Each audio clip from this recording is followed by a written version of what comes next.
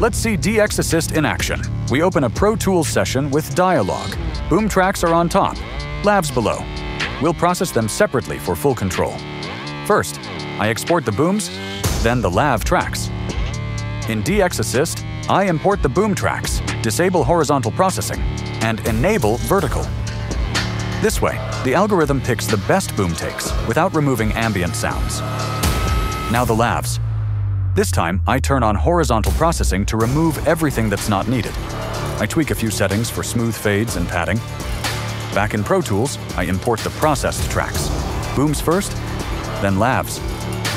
Booms are intact, but optimized. Lavs are clean and focused. From here, dialogue editing is fast, even in real time. Download the free trial. DX Assist Smart Dialogue Preparation Simplified.